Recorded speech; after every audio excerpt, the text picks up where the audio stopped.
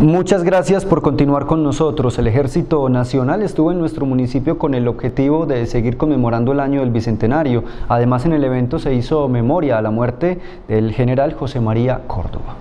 Como parte de las continuas celebraciones del Bicentenario de Colombia, en nuestro municipio se conmemoró uno de los hechos importantes como lo fue la muerte del general José María Córdoba. Hoy en este año Bicentenario, pues a realizarse en el municipio del Santuario, un evento, un acto eh, donde se recuerda la importancia que el general de división José María Córdoba tuvo para la campaña libertadora. Y qué bueno que en el municipio del Santuario se sigan a futuro llevando actos de esa misma importancia y naturaleza.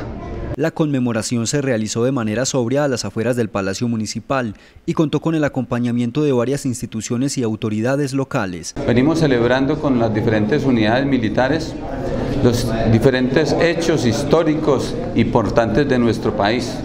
Lo decía ahorita en mis palabras, hechos importantes como la batalla del Pantano de Vargas el 25 de julio, nuestra batalla en el puente de Boyacá el 7 de agosto y hoy presentes en el municipio de Santuario lugar donde fue asesinado nuestro prócer, el señor general José María Córdoba, nuestro colombiano más importante que luchó en las diferentes batallas de independencia.